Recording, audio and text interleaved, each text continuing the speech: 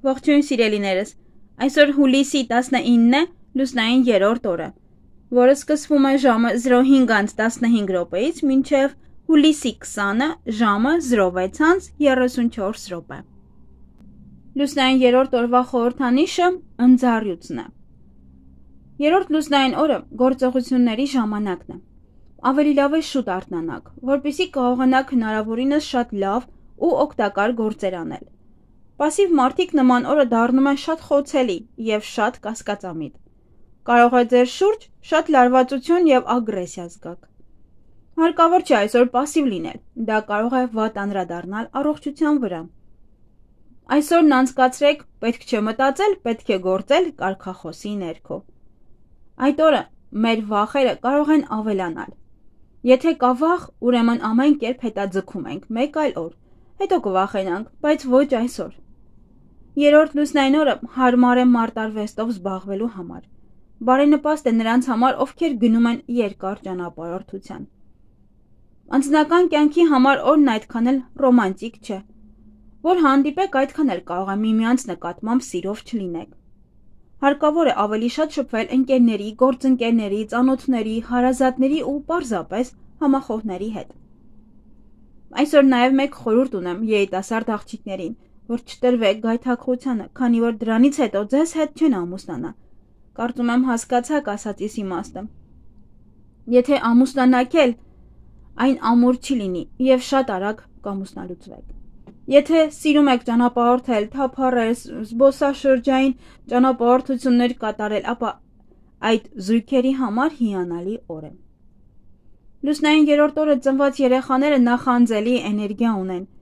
Նրանք դառնում են մարզիկներ, մարզիչներ, զինվորականներ, այսինքն ֆիզիկապես լավ զարգացած մարդիկ են լինում։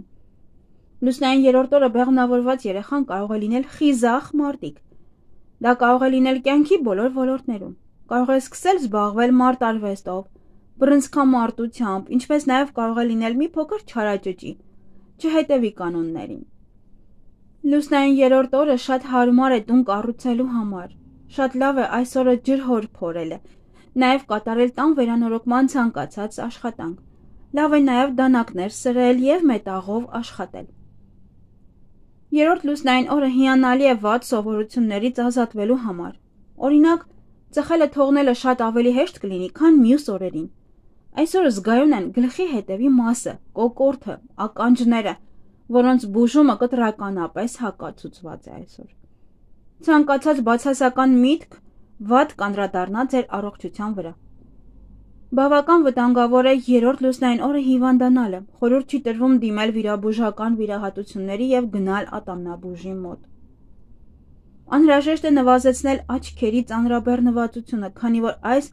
ժամանակահատվածում դրանք հատկապես խոցելի են։ Քիչ կարդացեք, քիչ դիտեք հերոստացույց, քիչ աշխատեք համակարգչով, Ավելի լավ է պարզապես հանգստանալ կամ զբոսնել մաքուր օդում։ Երորդ լուսնային օրը հարմար է ռիսկային եւ համարցակ նախագծեր սկսելու համար։ Բայց եթե ձեր որոշումը կայացվել է վախի ազդեցության տակ, ապա ամենայն հավանականությամբ ոչինչ չի ստացվի։ Ավելի լավ է ֆինանսական հարցերը հետաձգեք մեկ այլ օր։ Լուսնային երրորդ օրը պետք է ոչ թե երազել եկամուտների եւ նյութական բարգավաճման մասին, այլ պայքարել դժվարությունների դեմ եւ ակտիվ գործել, բոլոր ջանքերը գործադրել նպատակին հասնելու համար։ Շարժվեք միայն առաջ, դեպի ձեր պլանների իրականացումը, թեկուզ դանդաղ, բայց միայն առաջ։ Լուսինը կօգնի հաղթահարել կյանքի դժվարին խնդիրները։ Վախենալու ոչինչ չկա։ Ծուլությունն ու անգործությունը մի կողմ դրեք։